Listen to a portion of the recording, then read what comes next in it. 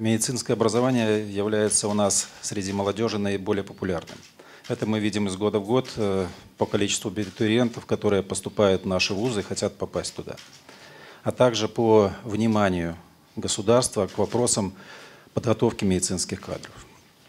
В прошлом году, когда вы посещали шестую клиническую больницу города Минска, вы дали поручение э, расширить количество мест для абитуриентов, которые будут получать медицинское образование по целевым направлениям. И в связи с продолжением этой темы хочу обозначить вопрос. Целевое направление само по себе подразумевает и помогает нам направить специалистов в населенные пункты, города, села с численностью населения, в первую очередь, менее 20 тысяч. По закону. По закону, да. Вот. На сегодняшний день мы почти полностью закрыли вопрос кадровый в малых населенных пунктах. Но как бы не в удел или обиженными остались такие города, как наши и крупные районные центры. Возможно ли изменить условия целевой подготовки в плане того, чтобы молодые специалисты, медики могли распределяться уже в поликлинике, больницы крупных городов? Спасибо. А, абсолютно убежден в этом. Возможно, и это мы сделаем. Я знаю эту проблему, она не первый раз э, передо мной ставится, задача эта.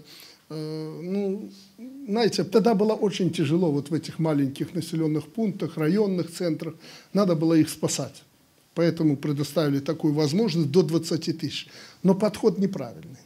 Мы это сейчас видим. Ну что значит, э, до 20 тысяч там можно, а где там 70, 100 тысяч и больше там нельзя. Э, поэтому надо подходить более конкретно. Надо молодечно три врача. Значит, с вашей подачи власть принимает решение, общественные организации подключим, что надо эти три врача подготовить, вы подобрали их, вы за них головой отвечаете, надо подходить конкретно и целевые направления выдавать тем, кому вы считаете нужным, кто будет настоящий врач. Поэтому я с вами абсолютно согласен, и вот в ближайшее время мы будем возвращаться на уровне президента к э, высшему образованию, будем смотреть, это же не только у врачей, будем по всем направлениям смотреть, по целевым направлениям.